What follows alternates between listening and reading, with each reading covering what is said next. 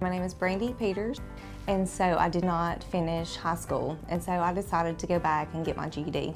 Got my GED, and so when I went back to ICC for the Occupational Therapy Assistant Program, again, there was some online classes offered, but since I had never done it, I still just went to class like every day instead of doing anything online. Now, when I first started thinking about the classes, like, am I going to be able to access those?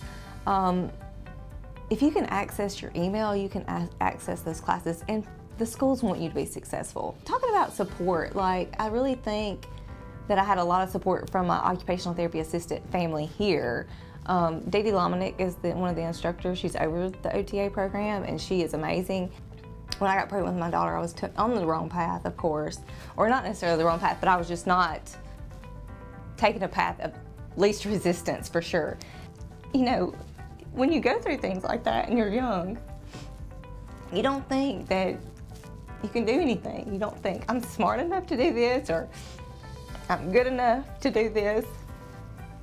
And if you just start applying yourself, you realize that you have a lot more to offer than you ever thought. so that's what I say, like just don't give up and be strong and um, continue to push no matter what. Like I remember one time, Dee Dee or Miss Lomenick, we were learning what it was like to actually be a hemi, have hemiparesis or hemiplegia. Like after a stroke, you couldn't use your hand, your dominant hand.